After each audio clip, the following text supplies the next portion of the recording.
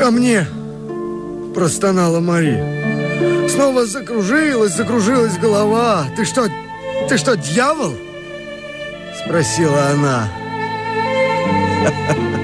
Да, согласился карлик. Мне говорят порой, что я дьявол. Дьявол.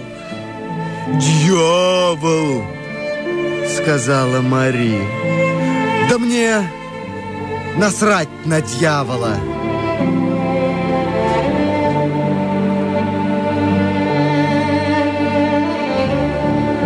Мари прислонилась к дубу. Она была в поту, в трансе. Это все пустяки. Но ко мне ты боишься подойти? Спросила она. Что, слишком поздно?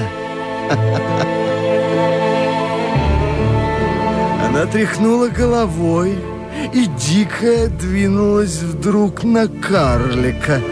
Схватила за шиворот, крича «Идешь? Идешь ты со мной?» «С удовольствием!» Сказал карлик.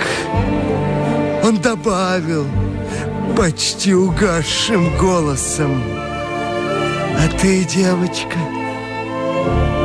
меня стоишь!» Странный писатель, маркиз де Сад.